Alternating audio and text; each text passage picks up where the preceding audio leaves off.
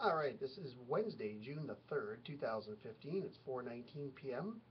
Coming at you now is the AHL playoffs round 3 pick'em results and they go as follows, only two games. All right, the Manchester Monarchs.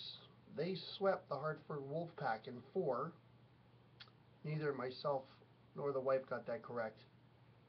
And probably one of the biggest surprises going to the Calder Cup, the Utica Comets. They ousted the Grand Rapids Griffins in six.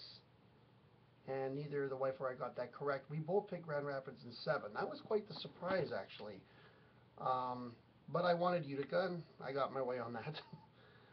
so uh, that's round three AHL Pick'em results. And so it's going to be Manchester and Utica for the 2015 AHL Calder Cup Final. I know who I'm going for, and I think I know who's going to win this too.